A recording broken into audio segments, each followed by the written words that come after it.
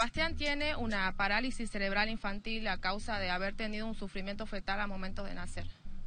Y bueno, el tratamiento este yo estuve averiguando y tiene muy muy buen resultado. Hay muchos pacientes que fueron y, cuentan su testimonio de que, de que le, o sea, eh, se rehabilitaron bastante.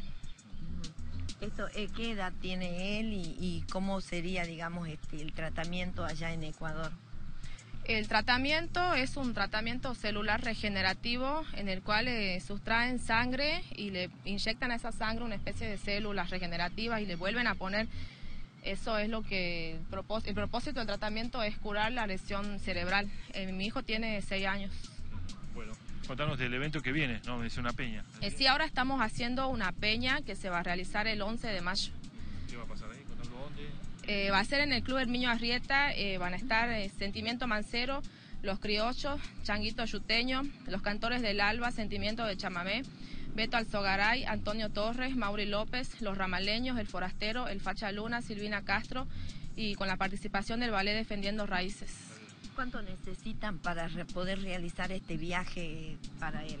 y en el tratamiento solo tiene un costo de 15 mil dólares fuera de lo que es estadía y pasaje.